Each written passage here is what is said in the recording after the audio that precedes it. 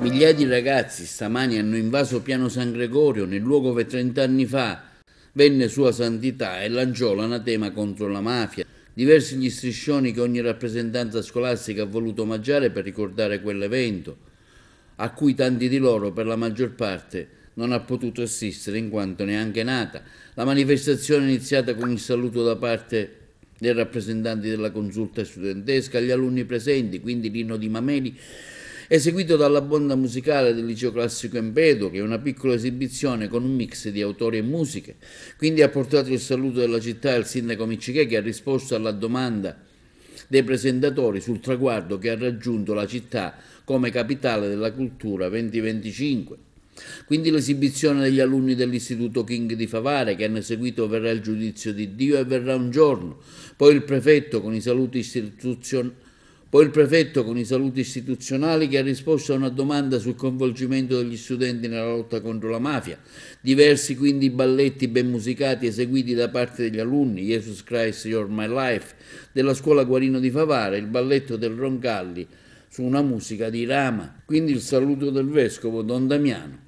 Molti di questi giovani non, non erano nati 30 anni fa e quindi li facciamo rivivere rivivere per modo di dire eh, quel passaggio importante di Giovanni Paolo II qui in Sicilia ad Agrigento l'8 e il 9 maggio del 1993.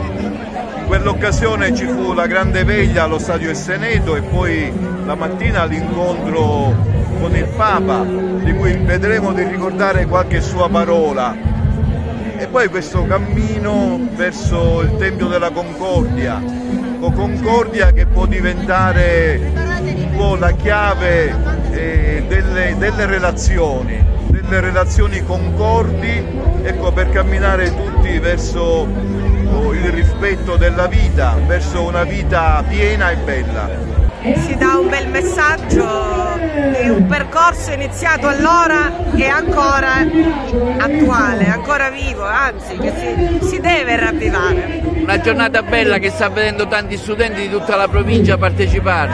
E a cui dare, ma no, io come dico spesso, non messaggi sterili, ma... Eh, rappresentazioni anche concrete di quello che, che, si può e si deve fare svolta a questa provincia, per, nel senso ovviamente della legalità e di quell'impegno che San Giovanni Paolo II chiese alla Sicilia tanti anni fa. Siamo qui con gli studenti della scuola secondaria di primo grado per ricordare questo evento che ha visto la presenza di Papa Giovanni Paolo II 30 anni fa, ma soprattutto anche il grido contro la mafia che venne appunto pronunciato qui a Piano San Gregorio e per gli studenti che a, quell'epoca non c'erano è anche l'occasione per eh, conoscere un pezzo della, della storia recente di questo nostro paese e capire anche quali sono gli elementi da considerare per la loro formazione e per la loro crescita. Il mondo della scuola oggi è presente in maniera massiccia. Assolutamente sì, e, e, posso fare la presuntuosa e dire che grazie a Don Enzo siamo i protagonisti oggi. Il nostro Papa è riuscito ancora una volta a metterci tutti insieme. Quindi è bellissimo per me come, come, si svolgerà, insomma, sta avendo parecchio successo la cosa, no? Eh sì, perché c'è un lavoro preparatorio che Don Enzo Sazio con l'equipe formativa ha fatto durante eh, un paio di mesi con la consulta giovanile, poi ci sono i nostri ragazzi che presenteranno e si sono occupati anche di aiutarci nell'organizzazione. Ci sono tutte le scuole della diocesi di Agrigento, o almeno una rappresentanza per ogni scuola.